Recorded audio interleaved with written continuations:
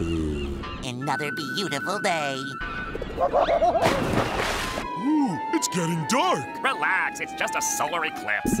SpongeBob and friends on new SpongeBob Tiki Berry waffles for a limited time. Leggo my Eggo.